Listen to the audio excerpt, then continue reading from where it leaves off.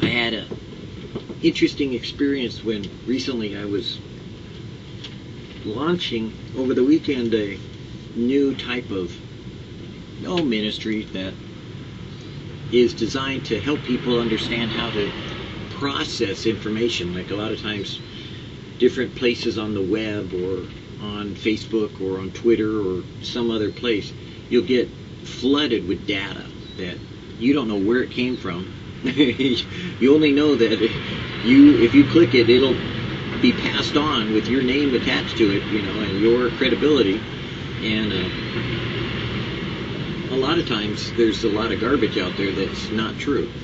And most of the time, people will read the headline, not research whether or not the article is true or not, or if they click on it, they'll see some fancy looking website that, speaking from my own personal experience, anybody could create and make it look like it's important. And then you find down the road that it was all false, that it was some kid, you know, playing games or playing, you know, important and making a facade on the web. A facade is a phony storefront that just like in the old west how they used to just have a square building but then they had these big fronts that looked like oh so important.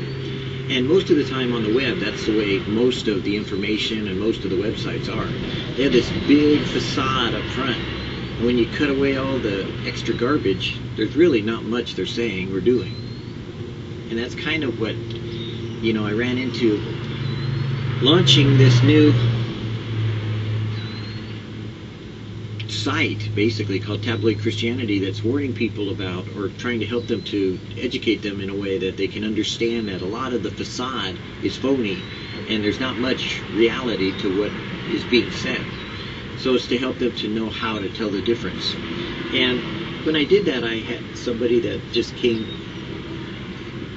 out of nowhere and just started just coming one after another telling me all these wrong things and wrong attitudes and wrong things. And you know I kept listening and you know responding and sharing and responding and sharing and responding and sharing. And normally I'd just ignore it but for some reason the Lord had me just keep talking and eventually the person you know dumped me. But the joy we have is not so much in telling someone they're wrong or they're right but in recognizing that that person is a valid individual and that there is a responsibility we have to care for that person, not to change their mind.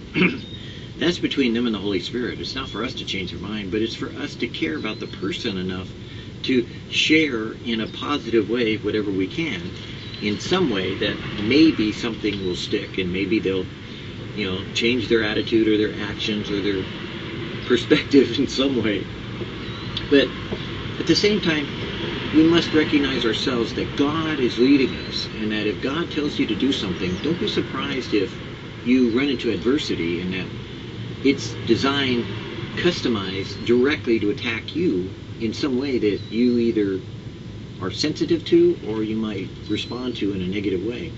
Because as I watched and saw the development of these personal attacks, I kept thinking, wow, this person doesn't even know that they're not attacking me, but they're being used to attack me. And I, I just had compassion upon that person and, and recognized that, hey, this wasn't about, you know, the ministry of what I'm doing, or this wasn't about what God is doing to inspire me with it, but rather it was meant to influence me in some way to cause me to react to this person as opposed to the posting of what was being said.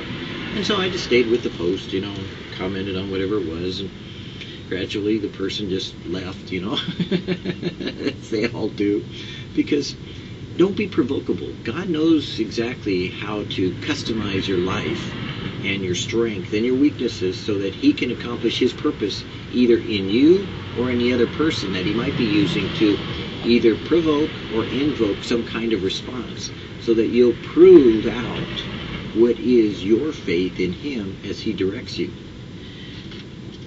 And that's why we have devotionals and we go back to God and talk to him all through our day because we will be provoked and how you respond is your choice.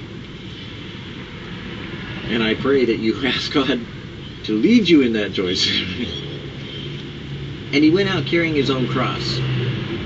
There is a poem called The Changed Cross. It represents a weary one who thought that her cross was surely heavier than those others whom she saw about her, and she wished that she might choose another instead of her own. She slept, and in her dream she was led to a place where many crosses lay, crosses of different shapes and sizes. There was the little one most beauteous to behold, set in jewels and gold, and she said, Ah, this I can wear with comfort. So she took it up, but her weak form shook beneath it. The jewels and the gold were beautiful, but they were far too heavy for her. Next, she saw a lovely cross with fair flowers entwined around its sculptured form. Surely this one was for her. She lifted it, and beneath the flowers were piercing thorns which tore her flesh. At last she went on, and she came to a plain cross without jewels and without carvings, with only a few words of love inscribed upon it. This she took up, and it proved the best of all, the easiest to be borne, and she looked upon it, bathed in the brilliance that fell from heaven, she recognized her old cross. She had found it again, and it was the best of all and lightest for her. God knows what cross we need to bear. We do not know how heavy other people's crosses are. We envy someone who is rich.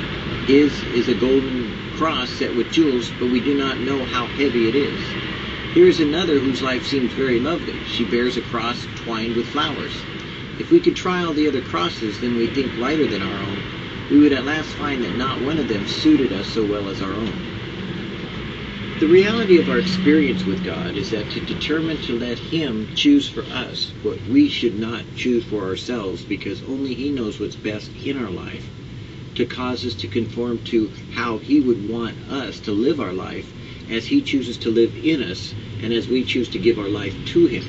Because it's not a question only of being a Christian and saying we know Him, but it's a question of living as we know him and being that person that is a person who knows him that is obvious by how we bear our cross, take up our life, and follow him.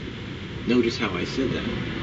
Because in reality, as you live your life in him, you will bear a cross of your own flesh. You must nail to that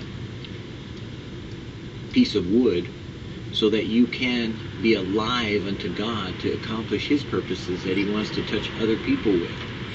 And you can't be someone else but what God wants you to be in your life today as He chooses to lead you each and every day as you ask Him to. Today, that is your cross. Will you ask Him to lead your life or will you ask Him to just bless your life with your choices you've made? It's your call. It really is. But when he says, take up your cross and follow me, you know he wants to live his life in you.